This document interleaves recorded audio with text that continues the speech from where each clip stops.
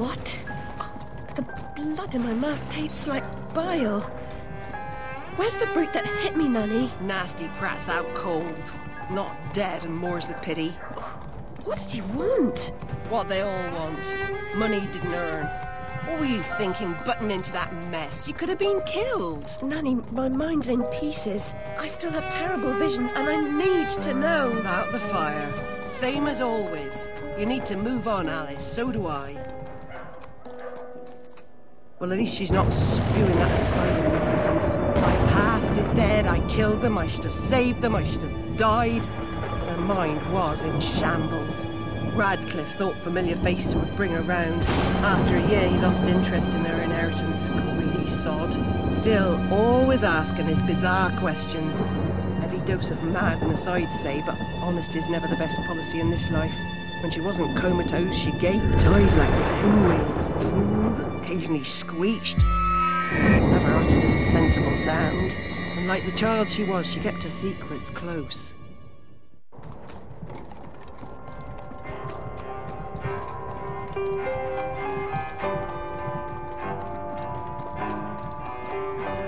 Gone off some lurkers, common as cockroaches.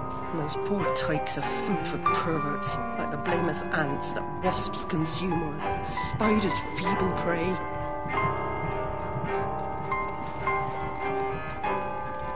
You visited my room at Rutledge. What were you... Recall that?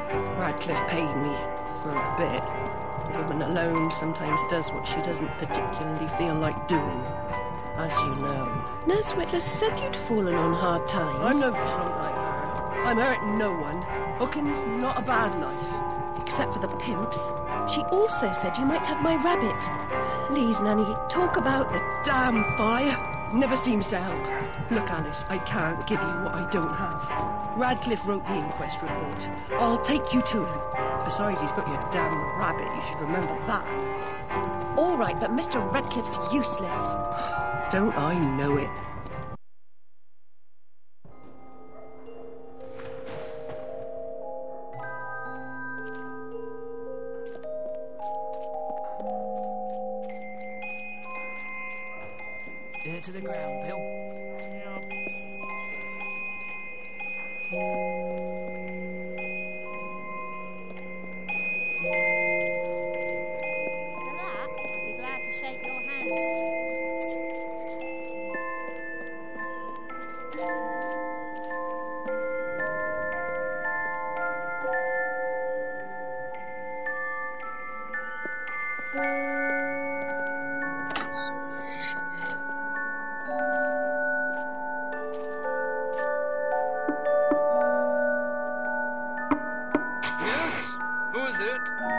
Alice Liddell, Mr. Radcliffe.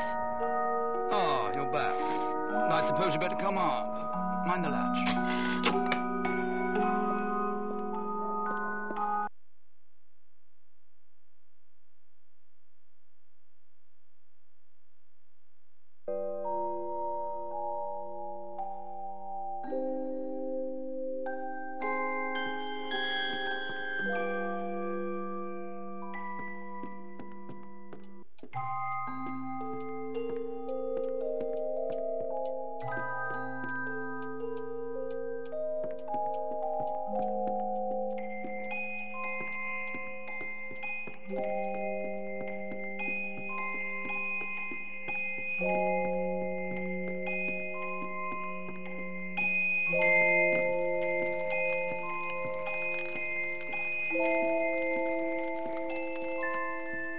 You do have my rabbit. Forgotten your manners? And what else, I wonder? You abandoned it at Rutledge Asylum, my dear. We've been over this before. In a huff as usual, oozing with attitude and accusatory flummery, I've stolen her rabbit. Ridiculous pretext. She's here about the fire again. All the mad child wants to talk about. My report found her family dead by misadventure. She won't accept it. It goes on and on about her killing memories and her need to know the truth. The alleged truth is the fire began in the library when the cat knocked over a lamp. The blaze trapped her parents and sister upstairs. Sister Lizzie never even unlocked her door. died in her bed. The guilty cat always sets her off. She denies it, makes no sense, it can't be, etc. Agreed. From the outset, Alice was my candidate for the pyromaniac. The girl had a fixation with fire. I once remarked that I thought she might have had a larger role in causing the tragedy. She suffered some sort of psychotic episode.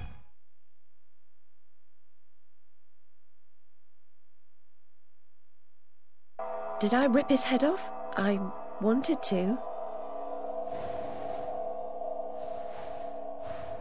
What's left of my brain will explode.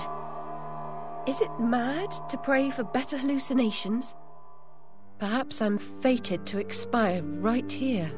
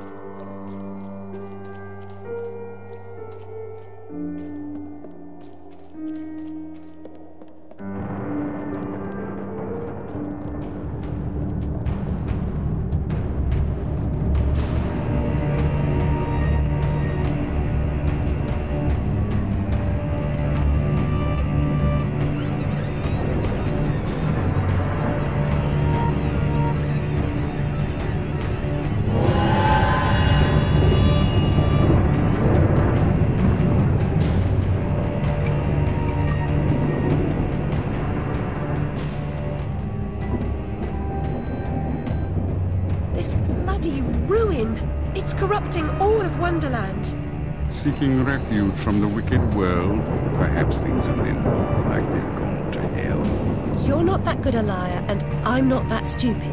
But something a bit less calamitous would have been welcome. This unmitigated disaster is your doing, and it will get worse.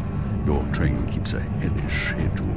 Get moving. Time waits for no one. The change has begun. The train is perfectly capable of terrifying me, Cat. You should find another job. Is there really so little hope?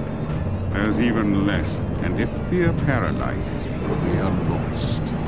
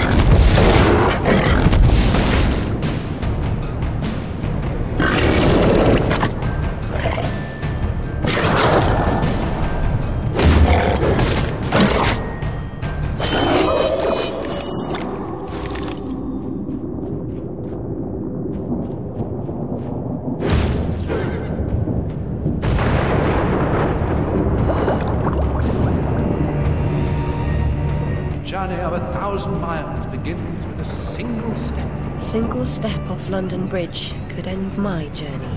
Failure was your epitaph. Uh, I'd hoped you were more courageous.